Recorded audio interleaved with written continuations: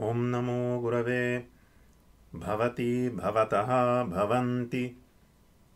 भवसि भवथः भवथ। भवामि भवावः भवामः।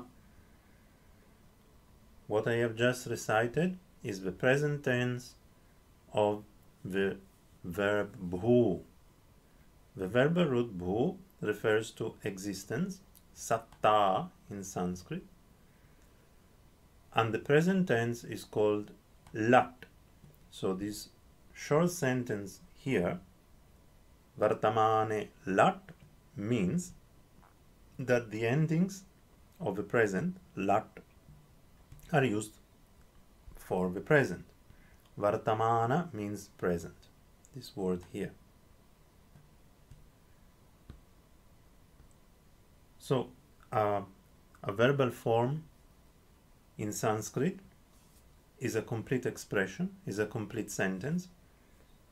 When we say bhavati, that's a complete expression in itself and it means that someone or something exists. So this is what we would call third person in English. The Sanskrit conventions for persons are slightly different. Prathama means first, and this refers in fact to what in English would be the third person. Madhyama means middle, and this refers to the second person. Uttama means best, and this refers to the first person in English. Purusha means person. So we have here th three rows. You see, this row is the Prathama Purusha, first person according to the Sanskrit convention, third person according to the English convention. This is the Madhyama Purusha, middle person according to the Sanskrit convention, and second person according to the English convention, and this is the Uttama Purusha, which is best person according to the Sanskrit convention and first person according to the English convention. Just like for nouns, these are further available in the singular, dual, or plural. So eka means one, dvi means two, bahu means many. So bhavati means that someone or something exists, singular. Bhavataha means that they too exist. And bhavanti means they, plural, exist. Bhavasi means you, singular, exist. Bhavathaha, you, two, exist. Bhavatha, you, plural, more than two, exist.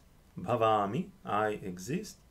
Bhavavaha, we two exist. Bhavavaha, we, plural, more than two, exist. We can in Sanskrit add pronouns just like in English. If we want, we can say aham bhavami. We can do that, but we don't need to. Because we already know that it is first person according to the English convention when we see bhavami. But if we want, for the sake of emphasis, for example, we can say aham bhavami. However, unlike in English, even when we do not express the pronoun, we have a perfectly fine sentence.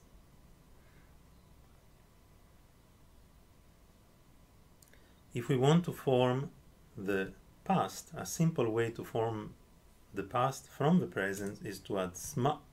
So if I, if I say bhavati sma, it does not anymore mean that he exists. It means he existed.